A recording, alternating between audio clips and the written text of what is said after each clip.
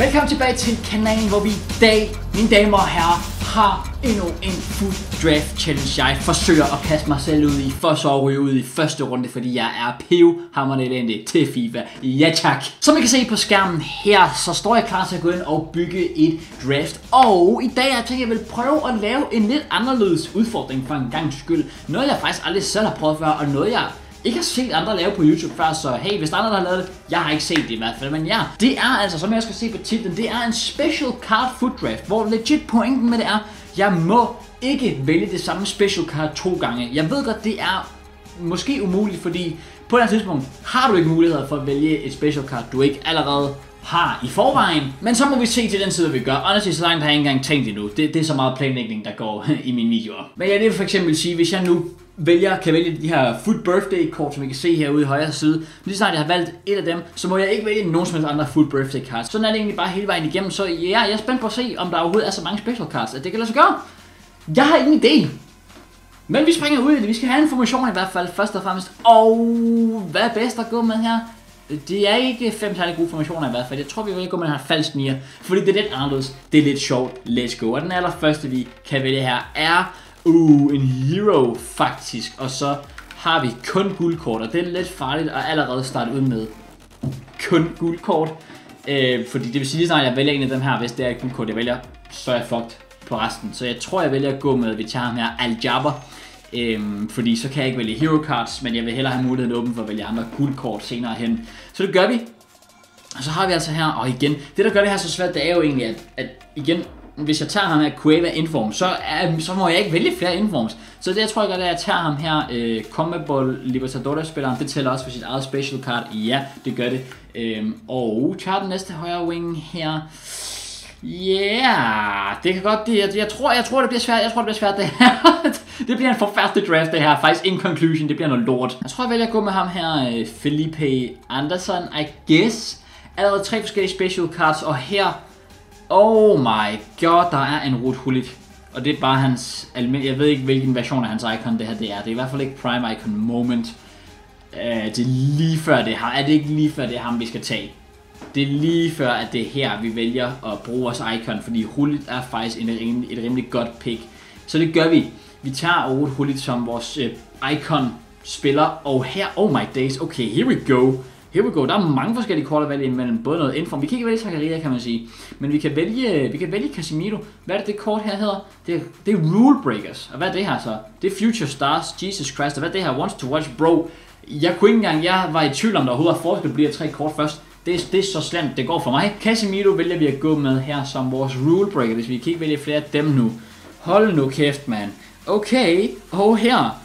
Oh my god, vi kan i hvert fald hverken vælge Barrera, Bruno Fernandes eller Henderson. Det skal være Renato Sanchez eller Milinkovic Savic, som vi faktisk linker op til Felipe Andersson.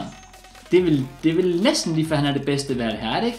Vi går med ham, for vi skal have noget kemi på det hold fordi det er der ikke en skid af til, til at starte med i hvert fald. Så ja, lad os, lad os gå den vej, og så her, uh, hvad har vi? Hvad er Kæbe? Han er også rulebreaker, så siger vi, der er faktisk kun et, der er kun et valg her. Og det er Mukiele i Champions League. Hvad hedder det her så? Vejen til knockout. Road to knockouts. I guess.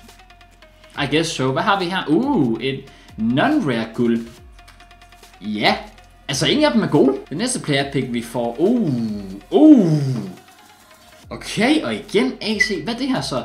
Det er Team of the Tournament. Okay, og det er Team of the Year. Øh, ja, yeah.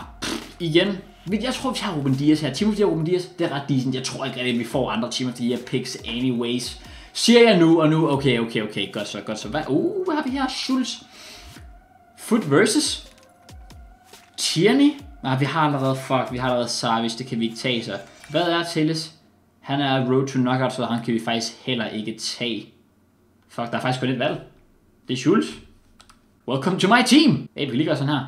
Let's go. Plus 3 kæmpe. Og med det så skal vi have en keeper, og der er god sandsynlighed for her, at vi faktisk med keeperen kan bygge en start, eller hvor alle kort er forskellige. Ja, yeah, fordi der er kun et valg her, og det er Donnarumma. Team of the tournament. Vi tager ham, og bro, vi har en fuld startelver. Vi har en fuld starter med alle 11 kort forskellige. Let's fucking go. Det er, faktisk, det er faktisk ret decent. Det kan jeg faktisk godt lide. Det kan jeg faktisk godt lide. Og nu rører vi så ned til bænken, hvor uh, han, der noget, han hjælper os her. Okay, ham tager vi. Ham tager vi. Han giver os lidt kemi, for han linker med, øh, med ham her, Günther her. Yes, okay. Så langt, så godt. Stadig alle special cards. Kan vi holde den kørende endnu? Ah, der, der, der, der, der døde den. Fuck, der, der røg den sgu. Vi, vi, vi kan ikke vælge flere øh, forskellige special cards nu. Øh, I hvert fald ikke lige med det her pick. Jeg tænker, at det jeg gør nu, det er, at herfra, så længe at valgmulighederne kun er spillere, altså special cards, jeg allerede har indbeholdet, så må jeg selv vælge. Dog skal jeg vælge, det vil sige, lad os sige for eksempel her, jeg vælger en inform. Hvis der så kommer en inform frem igen, og der også kommer en andet kort frem, som jeg også allerede har en gang, så skal jeg vælge det kort, hvis det giver mening. Altså, så nu skal jeg sørge for at få så lidt af de samme special cards ind som overhovedet muligt. Så hvad gør vi egentlig her? Hvad gør vi egentlig her? Alex Tees, måske Pau Torres. Jeg tror faktisk, Tees ikke er særlig dumt på venstrebakken. Også fordi Schultz ikke er specielt dygtig. Så kan vi lige det gøre sådan her. Og jeg troede, det ville give mere kvitt, da det gør det så ikke engang. Fuck sake. Anyways, og igen her har vi det samme problem. Hmm. Uh, der var lidt nyt her. Okay, vi har... Uh, hvad det her? Det, det, der er det deres numbers up. Ja.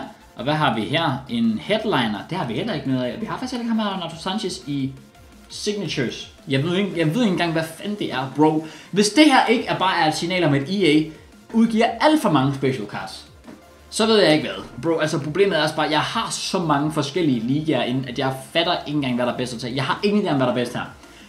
No idea. Jeg, jeg tror, vi går med, jeg tror, vi går med Renato Sanchez. Jeg er legit så meget in the mud her, altså. Og fordi, igen, jeg, jeg kan ikke få det til at gå op på nogen som helst måde. Jeg sidder der og kigger her på dem. Hvordan kan ham her nogensinde passe ind? Det ved jeg ikke engang. Jeg har, bro, jeg har sådan 10 forskellige ligaer i starten. Altså, hvad sker der lige? Men altså, man kan sige, at vi har en rare guldspiller, så det er vi nødt til at vælge nu. Det er det nederen at bruge på Rafa. Af alle sjældne guldspillere, så bliver Thor spillet Rafa fra Benfica. Mm, ja, yeah, okay. Uh, here we go. In foot versus ice. Adama Traoré. Ja, tjek. Ja, tjek. Han passer ikke rigtig ind på holdet. Okay. Uh. Uh, igen her. Vi er på det punkt nu. Jeg må vælge frit her, fordi vi har allerede et af alle de her kort. Vi kan tage, vi kan tage Lionel Messi. I mean, don't fucking mind if I do. Hvor kan vi udsætte med en angriber der? Let's go. Vi gør sådan der også. Okay. Jeg aner ikke, hvordan det giver nogen som helst mening, at det giver mere kemi at bytte rundt på dem, der har den grønne link. Men åbenbart gør det sådan. Okay, fem spillere tilbage. Og øh, vi kan stadigvæk få... Igen, prøv at se, vi har heller ikke, vi har ikke nogen future star ved det. Og vi har heller ikke nogen... Oh, det er en rulebreaker det der. Jeg tror, den wants to watch. Vi har ikke nogen future stars. Vi tager ham her, Nunez. Han slider meget hurtigt op på den venstre kant. Derfor vel tak til Pavon. Fire kort endnu. Og det er stadigvæk imponerende, at... Okay, så skulle jeg sige, at, at vi ikke har valgt så mange, for, altså er de samme kort, det kan vi så blive nødt til nu. Her har vi muligheden for, der er igen kun én valgmulighed her, fordi nu har jeg allerede taget, taget to forskellige sjældne guldspillere, og jeg har kun et icon, så Ukocha bliver det to igen. Lad os se, hvad den første her er. Igen er vi tvunget til at vælge et, et, et kort, øh, vi allerede har i forvejen. Jeg tager Sergio Roberto, og skal vi lige se, om ikke vi kan få et sidste special card ind, som vi ikke allerede har? Nej, det kunne vi ikke. Okay, tak for lort. EA. Hvad går vi med? Vi tager Brill Mbolo. Og... Holy shit, det er et røv elendigt hold. Det... Wow. Ja, det er trash. Så det er jo nok sådan den værste idé, jeg nogensinde har fundet på. Altså, hvad fanden laver jeg? Nu har jeg lige prøvet at tælle, så vidt jeg kan se, så har jeg 17 forskellige special cards her på i alt hvad?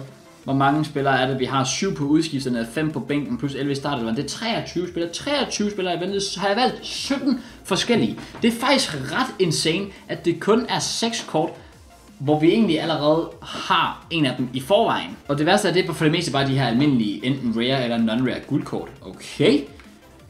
To be honest, når du kigger på det den måde, så er det faktisk ikke så dumt igen. Ja, jeg har så ret meget lige siddet og forsøgt at bytte lidt rundt på det, for at få så meget kemi som muligt. Jeg kan ikke se nogen anden måde at gøre det her, altså kemien bedre her. Jeg har prøvet før i asfalt ret mange ting. Nogle gange var jeg endda overskåret de ændringer, jeg skulle lave på holdet for at få mere kemi. Jeg synes ikke, det gav mening. Men her we are. 77 kemi, ja, det kan også noget. Det jeg tror jeg godt, er, at vi har holdet sådan her, og så når jeg kommer ind i kampen, skifter jeg nok en Casemiro ind et eller andet sted, nok en Adama Traoré ind, og så må jeg lige se, hvad jeg ellers gør. Men øh, ja, skal vi, skal, skal, vi ikke bare, skal vi bare få det her overstået, please? Skal vi ikke bare, skal vi ikke bare få kampen overstået? Og med dem her, det hold, der står i vejen for os, er det her hold. Wow! Ikke engang vanvittigt godt. What? Det er sådan et ret standard Premier League hold. Okay, må, må, må, måske vi kan snakke. Måske vi kan snakke.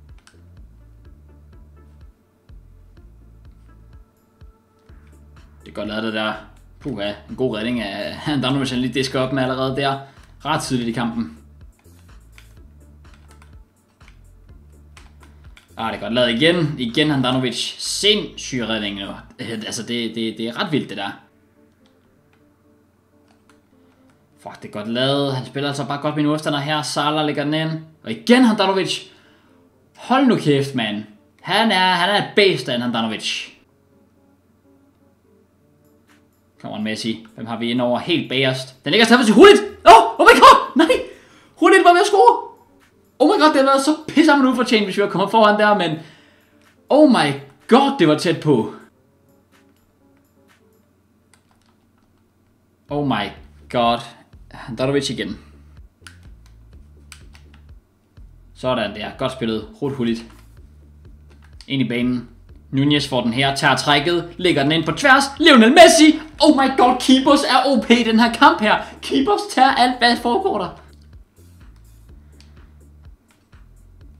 Øj, hvor er det godt lavet. Hvor er det godt lavet, Messi. Der skal være mål. Hvordan er der ikke mål, bro? Også jeg trykker instantly, når Messi får bolden. Han er sådan en, jeg tager lige et touch, inden jeg skyder.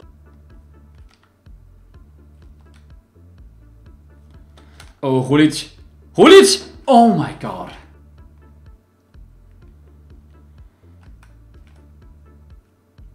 Oh my god, og oh, igen, altså, bro, det, det, det, den her kamp stadig står 0-0, det er jo et mirakel, altså. Hov, det var ikke der, jeg ville have spillet den hen. Fuck. Så er det det, han scorer på. Oh my god. Hvad laver jeg? Jeg ved, jeg ved egentlig ikke, hvorfor jeg parrede den derhen. Der stod videre en modspiller. En modspiller. Det, det, det, er, det, er også, det er også trist, i den måde, det sker på. Det, det, det er selvfølgelig uheldigt. Oh, okay. Så,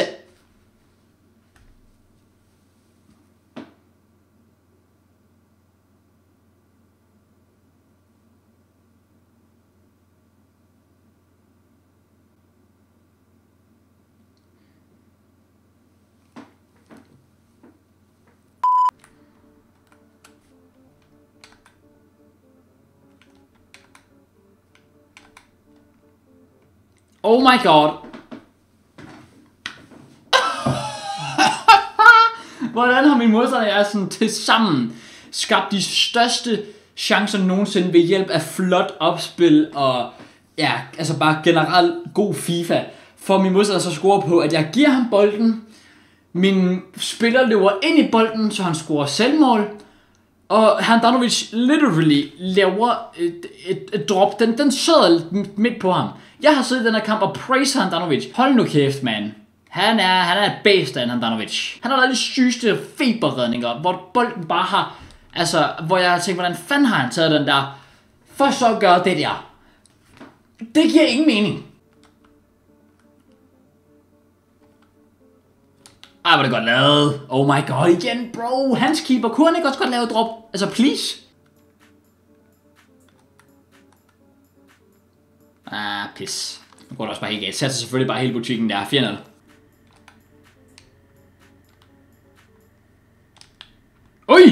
Okay. Fik lige en chance til sidst for lige at se, om vi kunne score, men hans keeper er igen åbenbart fucking vanvittig.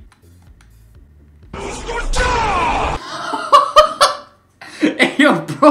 Hvad var det lige? Åh, oh, hvad lille fucking tackling. Shit, my man, han fløj.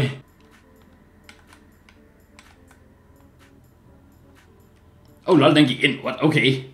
Fair play. Og med det, så er det overstået. Ja tak. Som jeg sagde, kampen skulle bare overstås. Torturen er overstået.